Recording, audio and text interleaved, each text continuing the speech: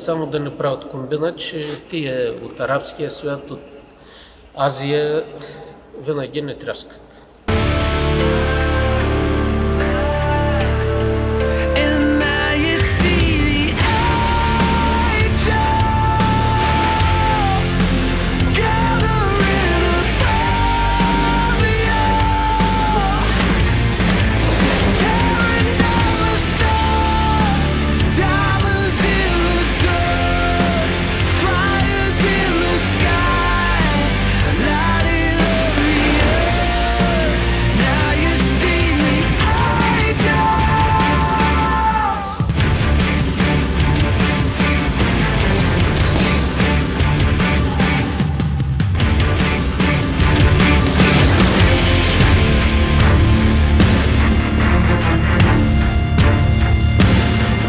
Станимира Петрова и Петър Лесов преживяха доста неща за времето, през което работят.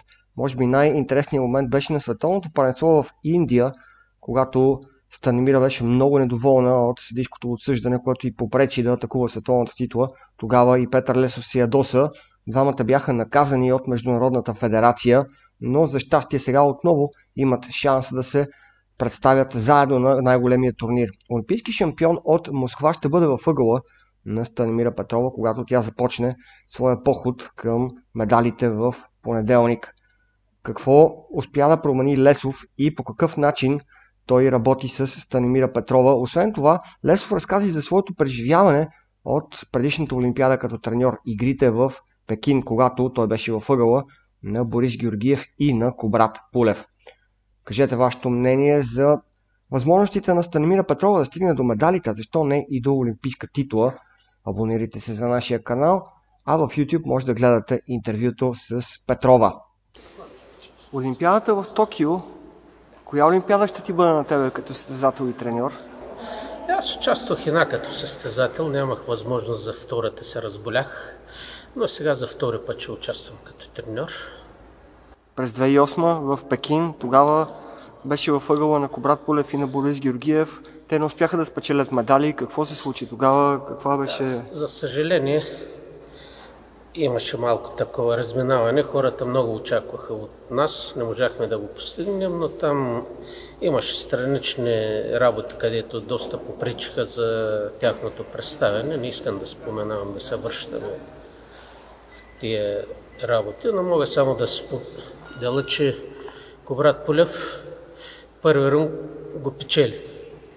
Втори рун тръгна съвсем друга да игра да играе, не каквато аз беше тактиката. Почна да, да се би, загуби втори рун, загуби трети рун. Дори след ринга ме каза, а, аз на бой ще го бия. И аз му казах, той на бой те би, а като му играеш технично, нали, се печелиш от всякъде. И даже думите му, ей, като свърши среща, ей, трябваше да те слушам. Но там си има и преди подготовката и на Боря Георгиев просто не можа да се проведе и той срещата, макар че очакванията, нали, пак казвам, бяха много големи от нас и имахме голям шанс да вземем и двамата медали. Станимира отива на втора Олимпиада.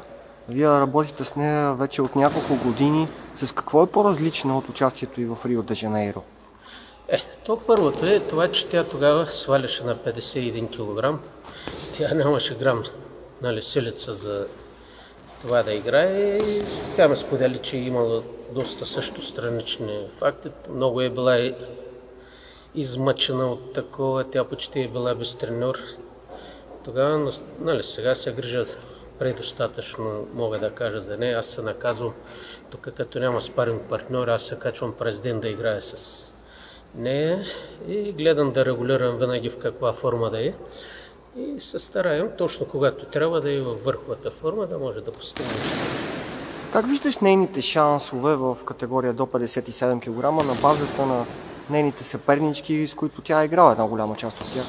Да, почти всички е играла, може би 4-5 противнички не сме гледали, сега ще ги разучим и тя, които са от Африка. Мисля, че те от Африка, от други страни, къде ще участват, мисля, че те няма да са фактор, но в нейната, в нейната категория има страшно много силни боксерки, които са и с доста титли, но тя като е подготвена, мисля, че може да ги бие всичките. Какво ще бъде най-важното за нея по време на Олимпиадата? Какво трябва да направи, за да може да покаже всичко това, което сте работили по време на тези 5 години Аз съм подготовка? сигурен, че тя ще го покаже всичкото, само да е на нея и трябва само концентрация. Тук хване ли си дистанцията, тук каквото тренираме, каквото прави, тя просто с тая бързина, мисля, че проблеми няма да има. На нея и трябва само една концентрация. Тук тя много обича с този телефон да отговаря, да пише. Тук още няколко дни спираме с телефона. Ще и го прибереш ли категорично до Олимпиадата? Няма да и го пребера, но ще такова. Като и кажа от толкова до толкова часа, без телефон, да го изключвам, и аз съм сигурен, че ще ме слуша и няма да го включва. Готови ли сте и за една по-различна Олимпиада? Ще има изключително строги мерки за сигурност, дори преди самото влизане в Олимпийското село. Тя е. Това е за всички. Ние да сме дисциплинирани, ще изпълняваме каквото трябва и мисля, че нищо няма да е такова. Важното е, като не играе, да има къде да тренираме, да си изпълняваме нашите задължения. Други работи не ни интересуват. Там да ходим, да разглеждаме, да ще се гледаме до последно, може да се представим както трябва. За каквото се готви. Как виждаш представянето и на другите ни двама участници в бокса, на Даниел Асенов и Стойка Кръстева? Е, ме, ние знаем, че тия двамата боксери с- са много добри боксери. Даниел ли побеждал и световните шампиони и това. Значи от тримата могат да се борят за медали, дори и за златни. Сега искам едно сравнение да направиш. Преди Олимпиадата в Москва съм сигурен, че е имало едно напрежение, една тръпка преди заминаване, преди самото състезание и сега, когато си във ъгъла на Станимира. Каква е разликата, кое е по-различното и усещаш ли така отново тази тръпка, тази възбуда? А, разбира се, усещаме, нали, аз като съм постигнал това и моите изисквания са все максимални и ще искам и тя да става първо. Това е целта, за това се борим. И, значи там като състезател, аз нали, тогава бях и малък и си отивах и си играех спокойно. Много не се притеснявах, дори притеснението ми беше по-голямо за световното първенство, за младежи, отколкото за Олимпиадата. И си играх много спокойно на Олимпиадата. Дори като станах олимпийски шампион, много по-късно разбрах какво е да си олимпийски шампион. А сега като треньор, предполагам, че е доста Е, по-притеснително е ъгъла. Много по-притеснително, защото искам да го направим, да не се изложим пред хората. Страшно много хора постоянно не пишат, ние вярваме във вас, че ще се представим достойно. На световното първенство в Индия скочи да защитаваш Станимира след като съдиите не постъпиха добре с нея. Тогава и двамата ви наказаха.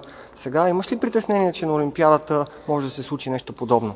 Аз мисля, че ще е по-сериозна работата, няма да има чак такива, но без това не може, защото и самите съдии там по страни си имат различен бокс, гледат с различни неща. Аре, кой не разбира да се един глас да даде, само да не правят комбина, че тия от арабския свят, от Азия винаги не тряскат. Дават загуби. Надявам се, че контрола ще е по-строг и няма да има тия работи, защото това просто ще е срамота да се готвиш 5 години и за 9 минути да ти отнемат твоя труд. Супер.